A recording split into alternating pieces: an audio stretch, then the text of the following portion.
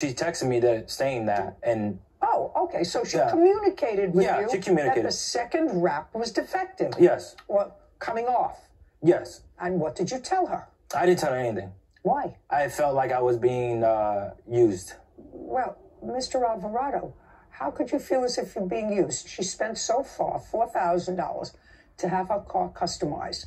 The primary thing that she was doing Yes. was changing the color of the car. Yes, You did it, you did it twice, and twice it was defective. Yes. Both times. And Yes. she paid you for your labor. she paid me for my labor. She paid you for your labor and she paid for the materials. yes, And right now she has a defective car because it's coming off. yes. Yeah. Who should be responsible for that? Me? Um, no, uh, uh, I, hope not me either, because I. Why not? You're the one who did it. Oh. Who should be responsible? You think Whitney should be responsible? no, How I- about Sarah? I, How di- about I did it.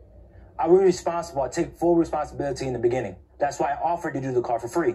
My brother came down from North Carolina. I had to pay him out of my own pocket to come from North Carolina. My brother, he's been a wrapper for 10 years. You know, he's the one that taught me how to wrap and do other stuff, and I know that's nothing to do with it. It So uh, he came, and um, he got his time. We got the car done, or whatever the case is. And then when she came and picked up the car, I told her, "You can give me the rest of the money, or you can't." That's why I only asked her for a deposit. If she didn't like the car, she wouldn't have left the house with the car. Okay, that's fine.